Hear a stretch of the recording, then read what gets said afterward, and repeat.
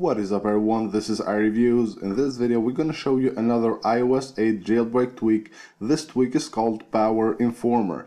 Now what this tweak does is that it will allow you to set custom alerts for your battery percentage. Now normally you will get an alert at 20% and then one other at 10% but this tweak will allow you to set this alert at any amount of battery percentage you want. Now to do that all you have to do is go to settings here you have enable, you enable the tweak right here. Then you can disable the system 20% alert right here.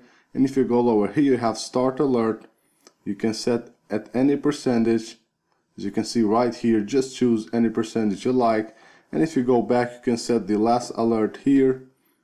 Again, you can choose any percentage you want. And if you go back here, you can set also set custom alerts for the battery alert, battery remaining, battery full charged and the dismiss options.